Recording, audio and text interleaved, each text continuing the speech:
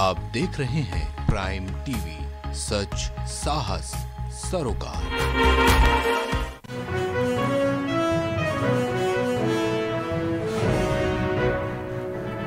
दोपहर बाद राहुल गांधी उत्तराखंड कांग्रेस के नेताओं के साथ करेंगे मुलाकात।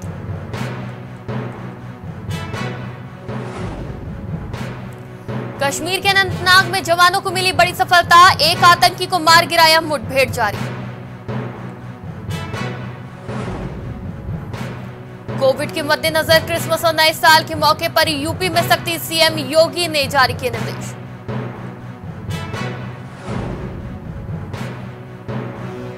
सीएम के निर्देश, सीएम ने कोरोना के चलते जारी किया निर्देश। मध्य प्रदेश में कोरोना और ओमिक्रॉन का खतरा जारी।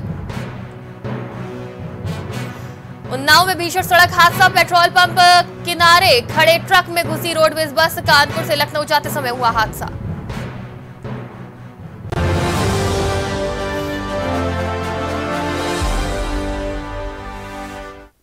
नमस्कार, प्राइम टीवी में आपका स्वागत है। मैं हूँ आपके साथ शिखा। मेहरोत्रा शुरुआत करते हैं उत्तर प्रदेश बुलेटिन की।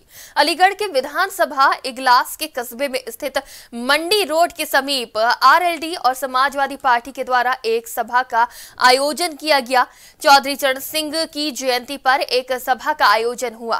कार्यक्रम में जनता की अपार भीड़ देखने को मिली तो वहीं दूसरी ओर अखिलेश यादव के द्वारा कार्यक्रम में शिरकत न करने से जनता नाराज़ भी नज़र आई।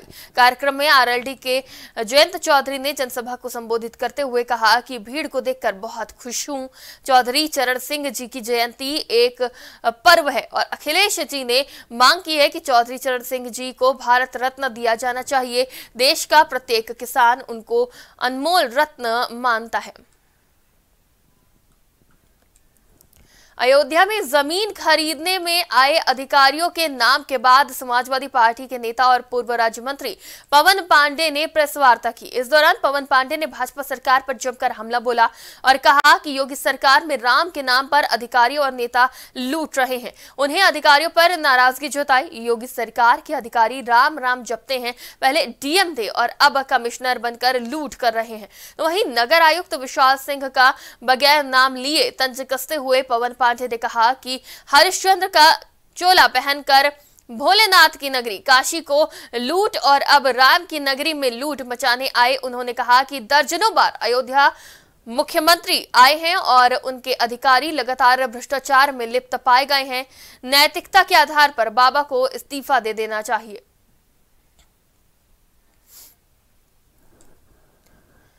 अय्या से है, जहाँ जिला पंचायत सदस्य एरवा कटरा, श्री प्रकाश चंद्र यादव के यहाँ चौधरी चरण सिंह की जयंती का आयोजन किया गया, जिसमें बड़ी संख्या में समाजवादी पार्टी के कार्यकर्ता उपस्थित हुए। तो वहीं प्रकाश चंद्र यादव ने बताया कि चौधरी चरण सिंह की जयंती को हम लोग राष्ट्रीय किसान दिवस के रूप में मनाया करते हैं। चौधरी चरण सिंह ही हमेशा किसानों के हितैषी और नेता रहे हैं। उनका पूरा जीवन किसानों के हित में ही गया है और सभी लोगों को विदित है, वो बहुत ही ईमानदार और कर्मनिष्ठ, साथ ही लगनशील जमीनी स्तर के नेता थे।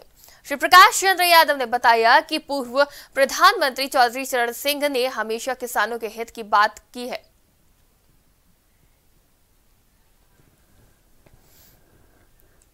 उत्तर प्रदेश के उप मुख्यमंत्री डॉक्टर दिनेश शर्मा के द्वारा शिकोहाबाद में विशाल जनसभा को संबोधित किया गया। उप मुख्यमंत्री ने कहा कि जब आदमी असहाय, बेस बेसहारा और निराश हो गया था तो कोरोना लॉकडाउन के समय लंबी बीमारी के चलते हुए कोई सहारा नहीं बना था। उस समय बीजेपी सरकार के कार्यकर्ताओं ने आगे बढ़कर सहारा दिया था।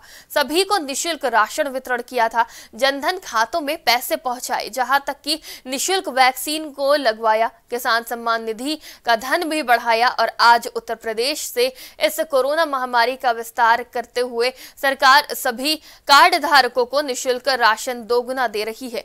बीजेपी ने किसी प्रकार का जात पात मतभेद नहीं किया है। सभी को एक दृष्टि से देखा। सभी को सुविधाएँ प्रदान की। दल बदल जैसी भावना का अपने हृदय से निकालकर असहाय, बेसहारा लोगों को अपने हृदय से लगाया। कार्यक्रम में मौजूद डॉक्टर गिरीश चंद्र शर्मा, जनता जनार्दन से निवेदन करते हुए उन्होंने कहा कि हमें हाल ही में बीजेपी सरकार को वापस लाना है।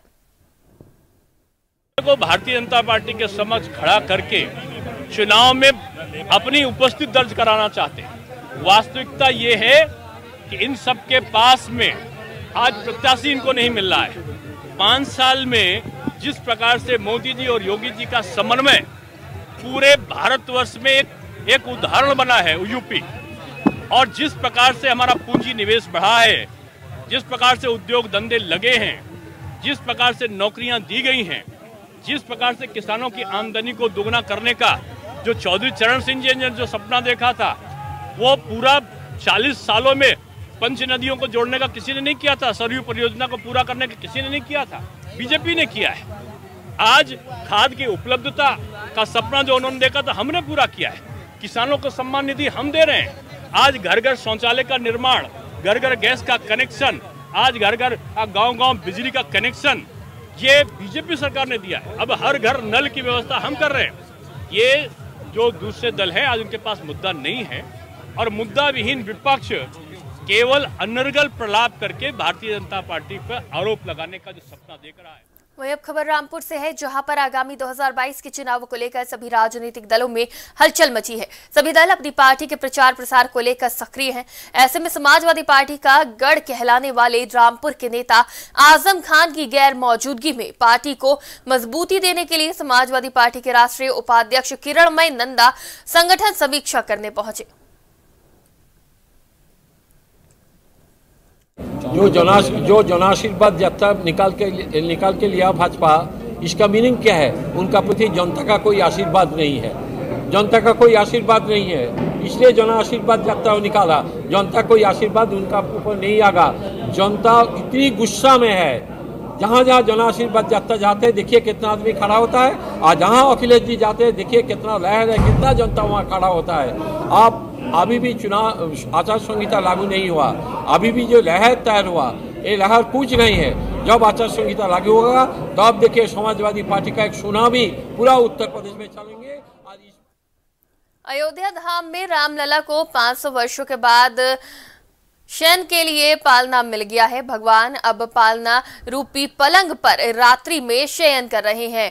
बकायदा अब भगवान को शयन आरती के बाद पालना रूपी पलंग पर चयन के लिए रखा जाता है। फिर भगवान को एक रजाई भी उड़ाई जाती है, जिससे कि ठंड से उन्हें बचा, बचाया जा सके। ये सुविधा रामलला को 500 वर्षों के बाद प्राप्त हुई है। यही नहीं, भगवान को ठंड से बचाने के लिए ब्लोअर का भी इंतज़ाम किया गया है। वहीं रामलला मुख्य पुजारी आचार्य सत्येंद्र दास का कहना है कि शुरुआती दौर में भगवान लकड़ी के सिंहासन पर विराजमान थे। अब रामलला के पक्ष में सुप्रीम कोर्ट का फैसला आया है तो राम जन्मभूमि तीर्थ क्षेत्र ट्रस्ट ने भगवान के सिंहासन लकड़ी से हटाकर चांदी का कर दिया है और भगवान चांदी के सिंहासन पर विराजमान थे। रामलला उसी चांदी के सिंहासन पर शयन भी करते थे, लेकिन अब शयन के लिए पालना रूपी पलंग आ गया है, जिसमें रामलला रात्रि में शयन आरती के बाद शयन करते हैं। भगवान को गर्म वस्त्र भी पहनाए जाते हैं, साथ ही भगवान के लिए विशेष तरीके की रजाई भी ट्रस्ट ने उपलब्ध कराई है।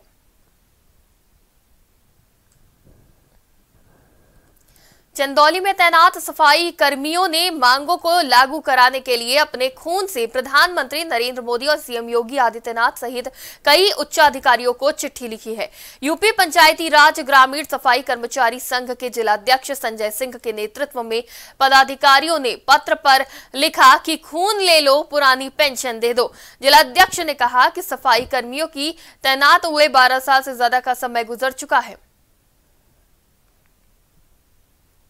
संजय कुमार सिंह जिलाध्यक्ष जनपद चंदौली सफ़ाई। आप लोग आज खून से चिट्ठी लिखे हैं क्या विषय रहा विषय हमारा यही है कि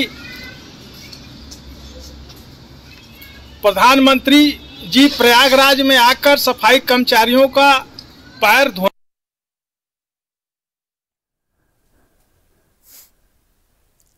तो चंदौली से खबर सामने आ रही है जहाँ पे अपनी बातों को मनवाने के लिए खून से चिट्ठी लिखी गई है। प्रधानमंत्री, मुख्यमंत्री और अन्य उच्च अधिकारियों को अवगत कराया गया है। अपनी मांगों से और कहा है, खून ले लो, लेकिन हमारी पुरानी पेंशन दे दो।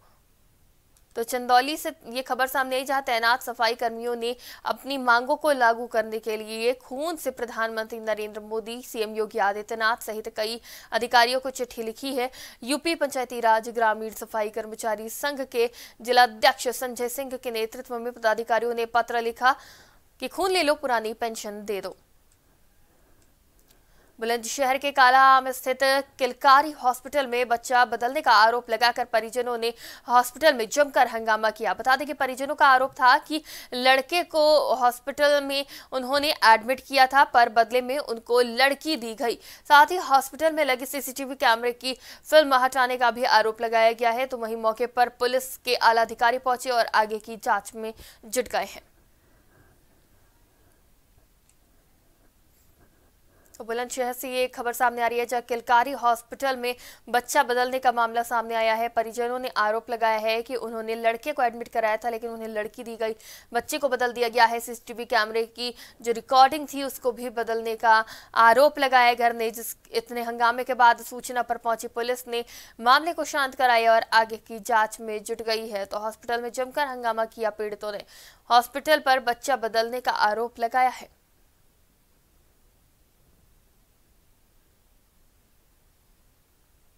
तो अलग अलग लापरवाही का मामला देखने को मिलता है अस्पतालों में।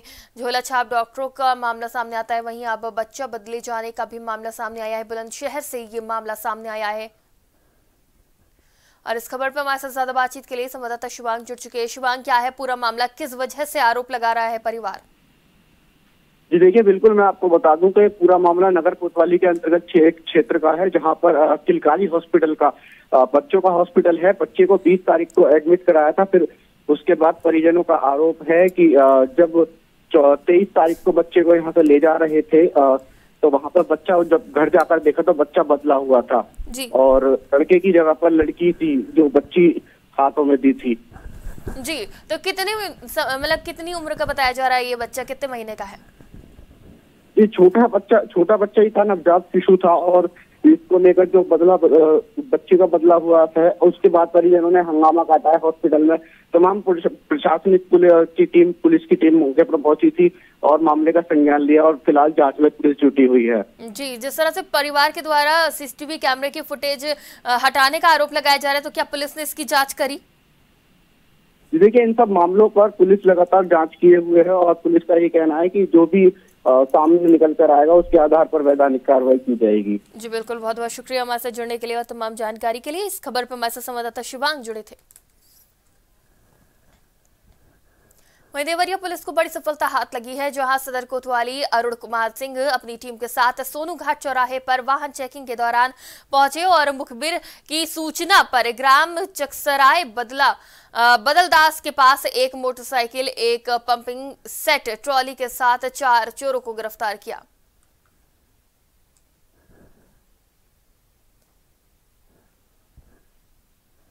तो देवरिया से ये बड़ी खबर सामने आ रही है, जहाँ पे पुलिस को बड़ी सफलता हाथ लगी है। शातिर चोरों को पुलिस ने पकड़ा है मुखबिर की सूचना पर।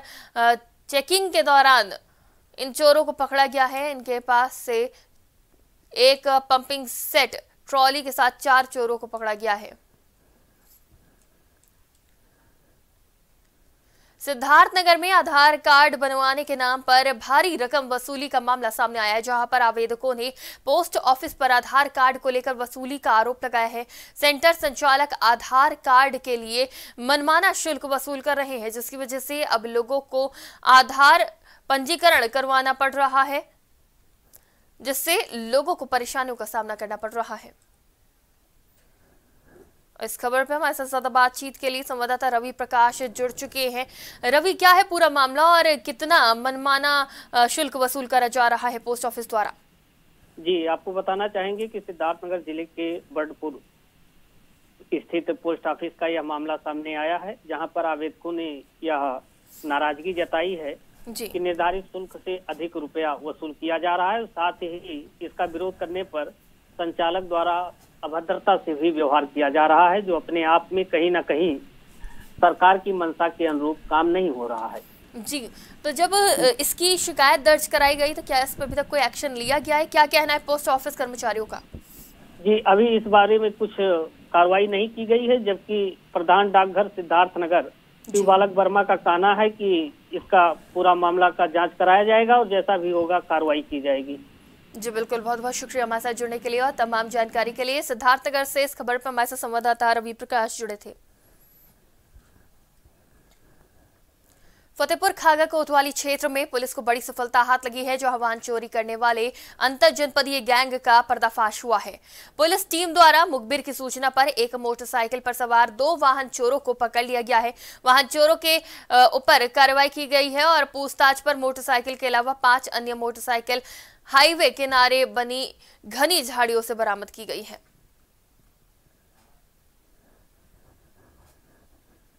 उत्तर प्रदेश की खबरों में फ़िलहाल इतना ही। तमाम खबरों के लिए देखते रहिए प्राइम टीवी।